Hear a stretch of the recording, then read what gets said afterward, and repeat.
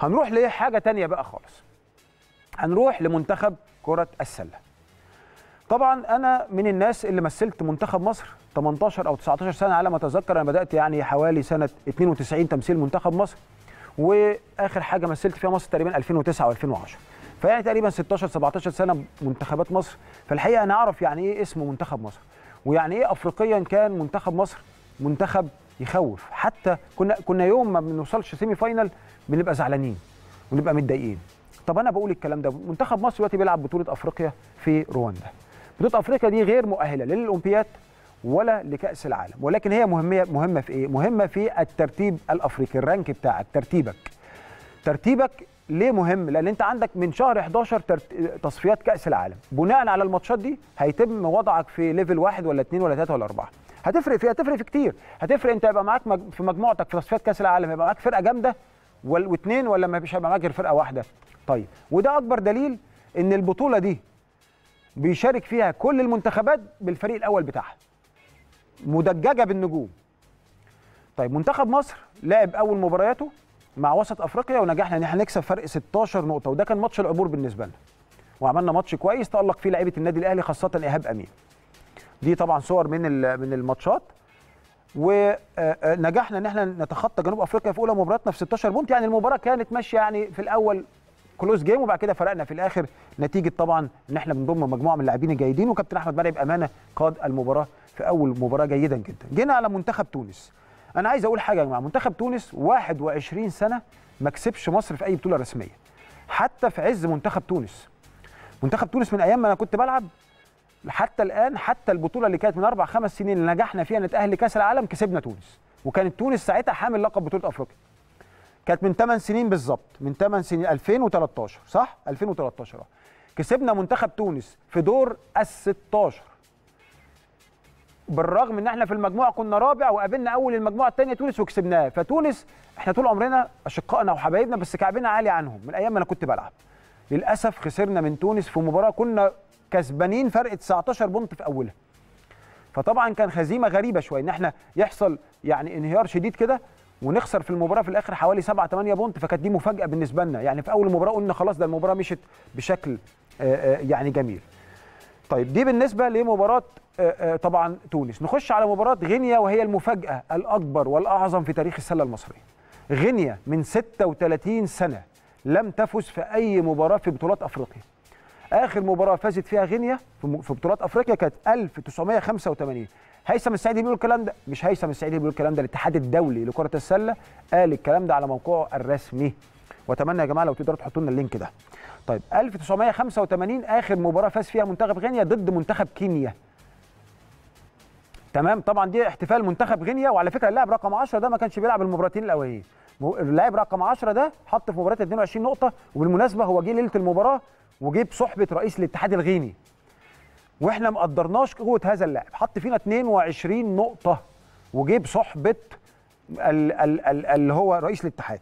1985 36 سنة منتخب غينيا لم يفز بأي مباراة في بطولة أفريقيا يروح يخسر الأربع ماتشات ويروح. فاز على منتخب مصر. ودي طبعا كانت مفاجأة وكل متابعين كرة السلة في أفريقيا والعالم العربي مش مصدقين. تونس كسبت هذا الفريق فرق 30 نقطة. خسرنا منه للأسف فرق 8 نقاط والفرق وصل في وقت من الأوقات 16 نقطة لغينيا دي كانت المفاجأة الكبرى. طب هتقول لي يا كابتن طب مصر معهاش مجنس يا جماعة طبعا أنا بتفهم إن كل دولة من الدول جايبين لاعب جنسيته الاتحاد الدولي بالمناسبة يعني إيه لاعب مجنس؟ الاتحاد الدولي فتح أو سمح في لائحته إن أنت تستعين بلاعب غير جنسية بلدك في المنتخبات عشان يدي نوع من أنواع القوة. ولكن إحنا دولة ال 110 مليون نسمة. إحنا دولة شابة. إحنا دولة ال 110 مليون نسمة. مش محتاجين نجنس لأن عندك كفاءات ولعيبة وتقدر عندك قاعدة تزود القاعدة. إحنا اللي نصدر. وعايز أقول إن الدول اللي بتستعين بتبقى دول يا إما دول فقيرة يا إما دول عددهم قليل يا إما دول التعداد السكاني بسيط صغير. فبيضطر يستعين. إنما مصر إحنا مش محتاجين. عندنا لعيبة على أعلى مستوى الحقيقة. بدليل إن إحنا تونس طلعنا على 20 point ولعبهم معاهم مايكل رول اللاعب مايكل رول اللاعب الأمريكي المحترف في إيطاليا واللي بيلعب معاهم بيلعب مع تونس ده اللاعب المجنس. اذا موضوع التجنيس ليس مبررا نهائيا. طب إيه اللي تم في المجموعة؟ اللي تم في المجموعة إنه طبعا بعد خسارة. بعد خسارة منتخب مصر من غينيا شقلبت المجموعة نهائي. إدت أمل لوسط أفريقيا إنه يتأهل وتونس أهدت مصر بطاقة التأهل بعد فوزها على جنوب أفريقيا امبارح بفرق حوالي 16 نقطة. 13 16 نقطة يعني آه أفريقيا الوسطى. كان المباراة كانت طبعا أفريقيا الوسطى نزلت ميتة على الماتش لأن لو كسبت تونس هتتأهل أول. وتونس تاني غينيا ثالث وإحنا رابع. فتونس إدونا بطاقة التأهل لدور ال 16 وعدلت تاني المجموعة رجعتها لأصلها تاني بقت تونس الأول مصر الثاني غينيا الثالث جنوب أو... وسط أفريقيا بره. وخدنا طبعا التأهل. طب إيه الوضع اللي جاي؟ الوضع اللي جاي أنا بس قبل ما أروح للوضع اللي جاي في دور ال 16 عايز أتكلم على حاجة برضو أنا شايف إن هي كانت محتاجة برضو نظر. هل. هل يعقل إن منتخب مصر يروح بطولة أفريقيا بدون رئيس بعثة؟ يعني أنا عرفت من خلال المشاركين هناك إن كل منتخب تقريبا أغلب المنتخبات رايحة معاهم رئيس من رئيس الاتحاد لأن ده عرس أفريقي. بتتقابل مع رئيس اتحاد دولي وتتقابل مع رئيس الاتحاد الأفريقي والسكرتير عام الاتحاد الدولي والسكرتير عام الاتحاد الأفريقي عرس كبير أفريقي. لازم ده كل ما هو أفريقيا هناك في كرة السلة والوكلاء اللاعبين وكل الدنيا هناك ينفع إن أنا أروح معيش رئيس بعثة عشان الانتخابات بتجرى دلوقتي؟ طب ليه؟ طب ليه؟ يعني ده عرس لازم أروح وأوطد علاقاتي مع ده وأوطد علاقاتي مع ده وأستضيف ده وأتكلم مع ده وأعمل ورك شوبس ورش عمل مستقلة هنا وهنا. وليه؟ وليه أروح كده؟ يعني يدي حتى انطباع للدول الأخرى إن مصر مش جاية مركزة في البطولة. يعني فأنا عندي كومنت على ده. وتعليق على ده. طبعا أنا صدقوني الانتقاد ده للمصلحة. والله أنا ربنا وحده أعلم أنا اسم منتخب مصر عندي رقم واحد. وإحنا بنتكلم الكلام ده للمصلحة وليس أكتر. اسم مصر اسم غالي جدا جدا. طيب إيه وضعنا دلوقتي؟ وضعنا إحنا تأهلنا دور ال 16 أول المجموعة بيتاهل لدور الثمانيه على طول. المفروض الأول بيقابل الرابع. الأول بيقابل الرابع قال لك لا ملوش ماتش ملوش معنى. أنت بت... الأول بيكسب لا الأول يقعد أربع أيام مريح ويلعب في دور الثمانيه على طول. طيب والثاني والثالث يعملوا كروسات مع المجموعات مع بعض. فمصر خدت تاني راح على المجموعة اللي قصادها. المجموعة اللي قصادها فيها مين؟ مجموعة النار. لغاية امبارح ما كانش معروف مين اللي هيتأهل منهم. فيها الرأس الأخضر رواندا فيها آآ آآ أنجولا وفيها فرقة رابعة أوغندا تقريبا. طيب المباراة هناك حصل حاجة غريبة جدا. أنجولا خسرت من رواندا أو وخسرت من الرأس الأخضر بعد extra time وخسرت 3 point يعني أنجولا خسرت مباراتين ما تخسرهمش. وانتوا عارفين يعني إيه أنجولا بالنسبة لمصر.